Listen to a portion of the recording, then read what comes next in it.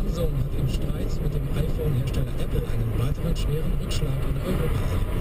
Ein niederländisches Gericht hat per einstweiliger Verfügung Einfuhr und Verkauf aller Samsung-Smartphones der Galaxy-Serie verboten. Zuvor hatte Apple bereits dafür gesorgt, dass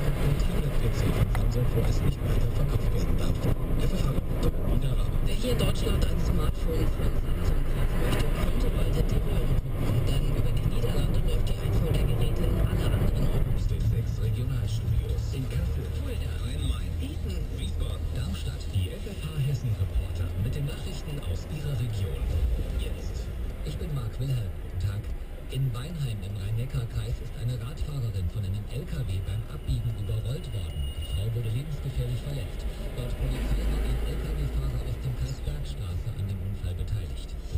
Die Polizei hat vier Jugendliche geschnappt, die in Rüsselsheim in der Georg-Büchner-Schule randaliert und unter anderem ein Notebook gestohlen haben sollen. Sie gaben bei der Polizei in der Schule eingestiegen zu sein und in der Küche